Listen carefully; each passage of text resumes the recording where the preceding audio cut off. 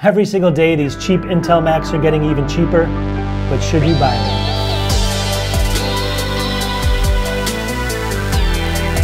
Welcome back to the channel. So what I wanted to talk about today is these very inexpensive Intel Macs are getting cheaper every single day. And the reason for that is because these M chip, M1, M2, M3 chips here are getting so much better, right? Every day these are getting better, these are getting cheaper over here. So the question is, should you really buy one? All right, so when I make a video like this, I always want to tell people, I always get comments in there like, you're crazy for telling people to buy Intel Macs right now, all right? I get tons of those comments. Everyone should buy an M series Mac, they tell me.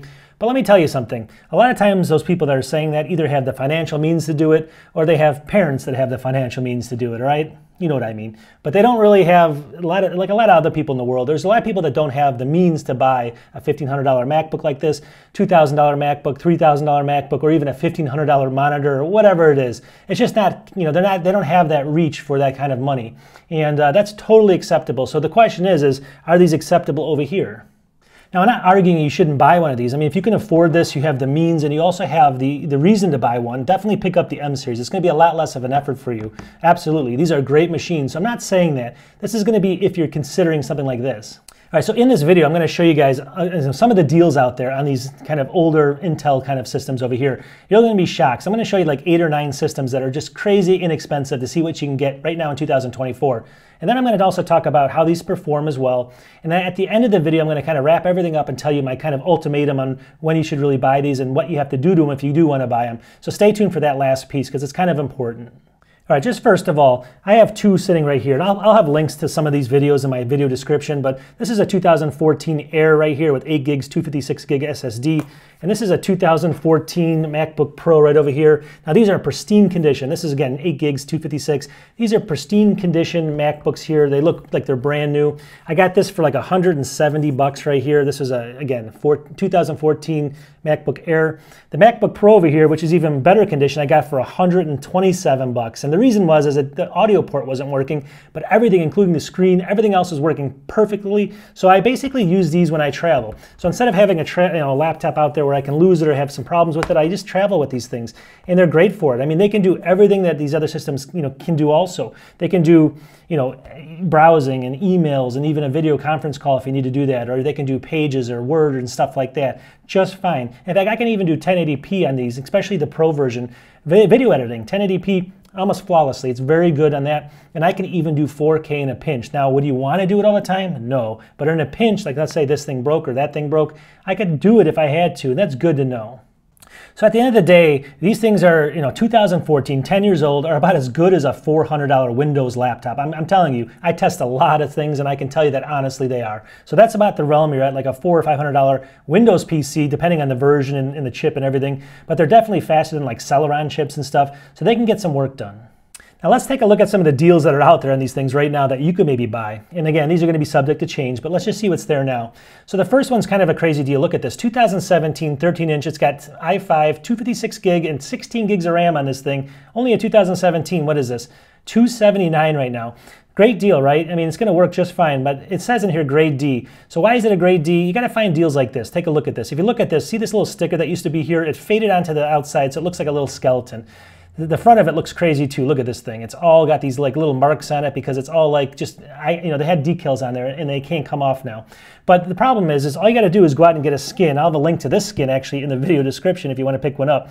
But you get a skin like this and skin this thing over here. And, uh, and then you can buy this system for 200, what is it, 279 and have a perfectly working 2017 MacBook that looks great with the skin and you don't have to worry about what the other person had on it. It affects you in no sense. I mean, it doesn't even matter what it looks like really, but if you want to change it, you can change it. Now let's keep going down the list here. So here's another one, 120 bucks for 2015, one year newer than this one. It's got 8 gigs, 256. Now I always say get at least 8 gigs, get at least 256, and always get SSDs. That's the main thing, 8 gigs, SSD, 256. Make sure all computers have that. Never get a spinning drive. So this one is what, 120 very inexpensive. This says what is a grade D here. But really, if you look at this, it's got like a small dent in the corner right here. So if you're looking at this for just work, everything else looks perfect on this thing. Look at the front of it. looks perfect. It's got that little dent on the side down here. And that's a drop the cost of that to 120. So you can pick that up really cheap. Now let's keep going. Here's a couple things I wanted to show you. Here's one for 226. It's a, what is this? It says grade D. It's got 512 gigabytes, 16 gigs of RAM. It's a uh, i7 here. Now why is this one, um, you know, 226? What's the deal with this one? If you look at this, something like this has got delamination on the screen. See that there? Now, I would usually say stay away from this, but if you can find a really good deal on a delamination screen, definitely pick one up because first of all, you can't see it when the computer's on that well. You can see over here in this picture. It doesn't show up that well. But even if it does, there's a video out there that, um, I don't know if you know Austin Evans. He's got a sub-channel called Denki or D-E-N-K-I. See it right here. And inside of here, you can see he's actually cleaning it with Listerine. So he takes a towel with Listerine on it. He takes that and it removes that delamination after about 20 minutes. Check out that video. Pretty crazy. If you know that, then you can maybe pick some of these up for cheap and actually then make them look almost pristine. But beyond that, let's keep going down the list here. 200 bucks on this one. Look at this, MacBook Pro 16 inch, 2019, 8 core, um, what is it, i7, 16 gigs, 512 for $200 for 2019 MacBook Pro, 16 inch, mind you. How is that possible? That thing was like 3,000 bucks just not too long ago. Well, again, you got to find, you got to be creative here as well. Take a look at this. If you look at it though, everything's in pristine condition. See this? It, there's not a scratch on it, but the screen, the screen is broke. Look at that. The screen actually has an issue going on. And so you're going to say, well, why would I buy something with no screen, obviously? Well, because you can close it and you can put this into a clamshell mode and use it on your desk just like this right here. And nobody will be the wiser of it. And you can actually have it work just like a Mac Mini, but it just sits on your desk or under your desk and you just never open it up. But it's still a computer. It'll still connect to an external monitor, Bluetooth at the keyboard, and it'll work perfectly as a Mac. And you're getting all that for 200. And then if you don't even want to deal with issues, look over here. This is 154. This is a 2017. It's an i5 7360, 8 gigs, 256. Only 154 bucks. Can you imagine that? That's how cheap they are now. A couple, maybe two years ago, that was going to be double, triple that. Keep going down the list. Here's 351, 512. This is an i7, 6820, 16 gigs of RAM, so 351. So these are more kind of common prices you're going to find right now, but still really cheap compared to these modern M series Macs. And then just a few more I want to show you here. So 274, this is a 2015.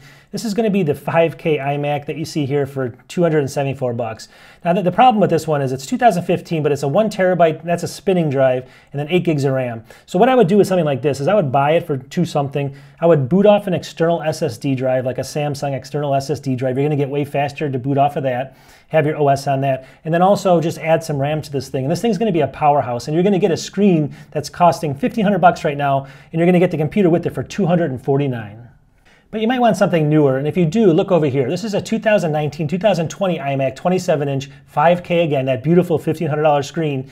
One terabyte SSD, mind you, that's an SSD. Just the SSD would cost 800 bucks on one of these things. And then you got, what is it, 16 gigs of RAM? 899 think about that for a second. So 899 for a computer that's got the $1500 screen a one terabyte ssd which is more you'd pay more for the ssd on a system like this now and you're getting that all for 899 on an intel mac that's still only a couple years old. You're going to have all of the os updates and stuff for a little bit longer. It's a great system and then I even use, I do all my video editing, most of it right now in a 2017 5K iMac sitting over there. And here's one over here. This is another place, OWC, 649 right now. You can go ahead and build this out, add a little bit of RAM to it, and you're golden. I mean, you can do a lot of 4K video editing on these things. The screens are perfect. They're just good systems overall. And just two more really quickly. Look at this, 99 bucks for a 2014. This is a Mac Mini. Again, just to get into the system, just to start trying it out. Not a bad system. These are not going to be fast. They may be good for like you know eh, hooking it up to a TV for some kind of media consumption, but these are still good systems if you actually know what to do with them, and I'll show that in a second.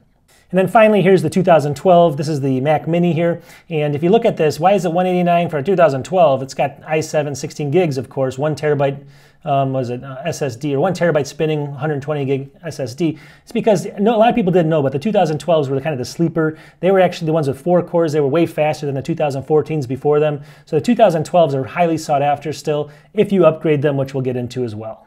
All right, so the question is, should you really be buying these older systems? Now, if you don't want the frustration, there's going to be a little bit of frustration, then just go with an M chips, you know, M series chip like this. This is a uh, M2 Air right here. Go, so go with something like a little less expensive, but you're going to get a lot more power from it, and just be done with it. But if you're more kind of into the, you know, want to venture into this, these are always going to be a good choice, even now today.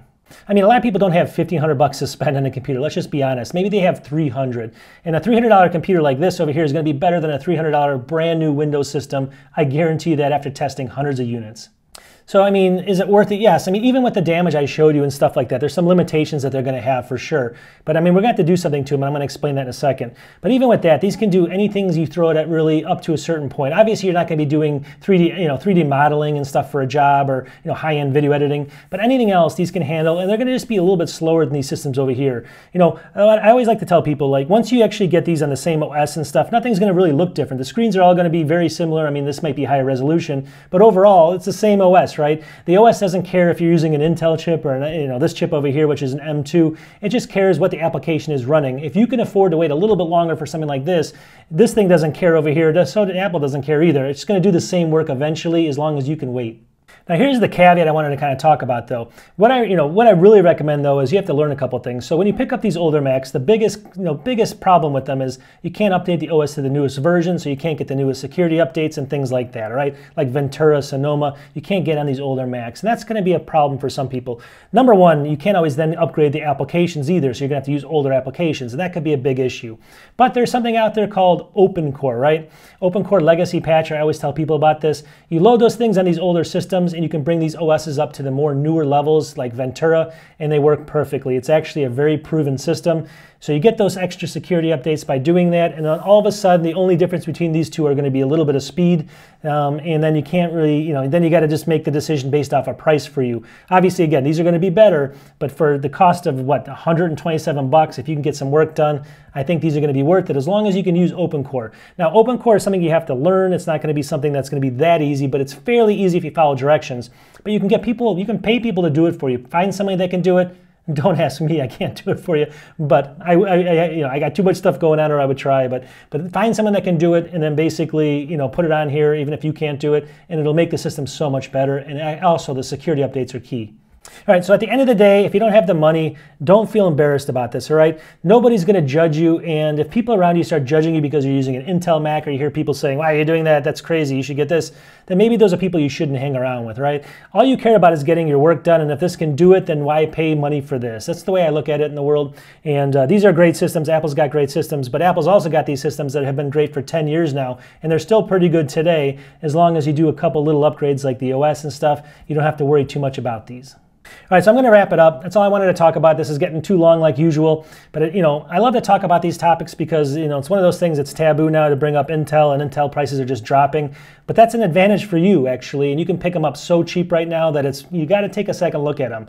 I mean, I wouldn't recommend it to everybody. Of course, there's people that can't use them or don't need them or whatever. But if you're one of those people that can only spend so much, definitely consider them do your research, and I think it's ultimately a good decision at the end of the day. We'll talk to everybody soon. I make videos every couple days. Please subscribe if you can.